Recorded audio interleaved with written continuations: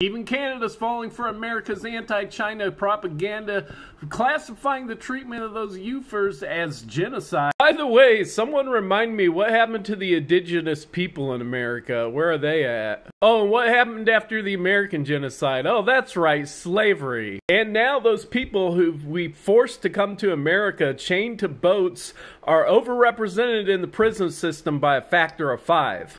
Well, gee, it seems like America must be the moral authority on human rights. Calling that genocide, I almost consider that disrespectful to Jewish people. Where's the gas chambers in China? Where's the mass graves? And if it is genocide, somebody put in the comments, how is the treatment of African Americans in the United States not genocide then? I mean, we have eight times the incarceration rate of China, and the, the African Americans are overrepresented by a factor of five in the prisons. Maybe that's genocide too. How about we fix up our own shit?